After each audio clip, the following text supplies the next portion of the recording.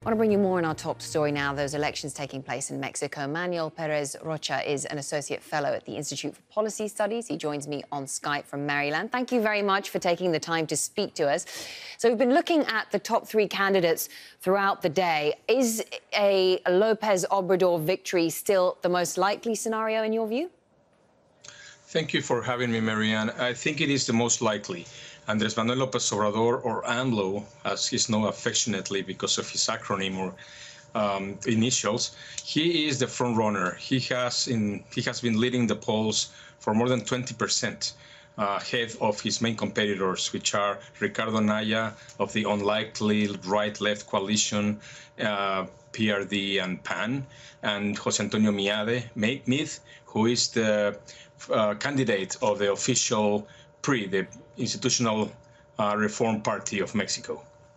He has promised change. He's promised to uh, bring some improvement to the lives of Mexicans. I think 50 million people or more than that are living below the poverty line. But people are also very angry about uh, drug crime, violence, and corruption.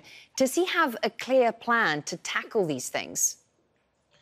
I think he has a clear plan as far as he's really intending to strengthen the internal market of Mexico.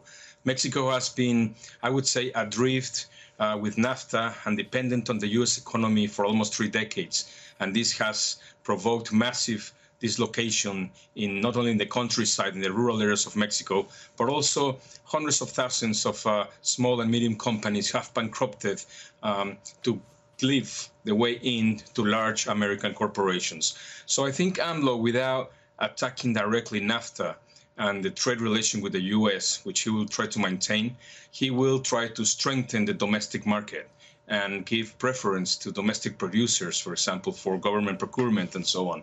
So I think that uh, in his campaign closing speech, he said that migration should become optional and not necessary anymore. I think this is a center of, uh, of his of his policy to, to help people stay at home in Mexico and stop needing to migrate to the U.S. to look for the jobs that are not being have not been created in Mexico for, for three decades at least. You mentioned the NAFTA trade agreement. We know that the Trump administration has also imposed tariffs on Mexican steel and aluminium. Uh, and just in general, that, that the language has been very aggressive with the so called zero tolerance immigration policy. Do you see a spike in US Mexico tensions playing out under an Obrador presidency?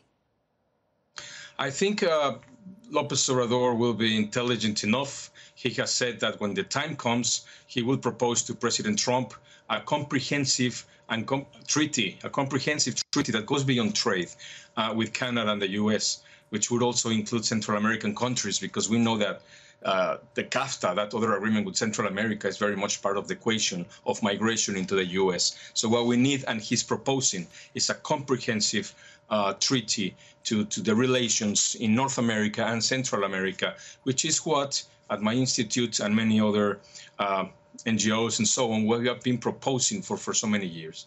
But what we about... have to see the relation beyond trade. Indeed, but what about the relationship in terms of the personalities of, of Obrador and Trump? How do you see that personal chemistry playing out? Because there is a sense that Obrador is going to be far more outspoken uh, in responding to the kind of belligerence we've had from Trump uh, compared to his predecessor.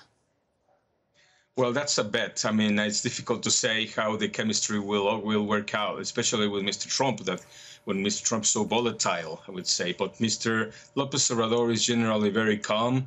Uh, very, he has a long experience in governing, and he understands uh, that there are many, many different things at stake. So I don't think he will be very confrontative to Mr. Trump as long as Mr. Trump does not escalate his. Um, his vitriol against Mexico. So I think he will try to put the cards very clear that, first of all, it has to be a relation of respect. Well, thank you very much. We appreciate your analysis uh, from the Institute for Policy Studies there in Maryland, Manuel Perez Rocha. Thank you. Thank you for having me again.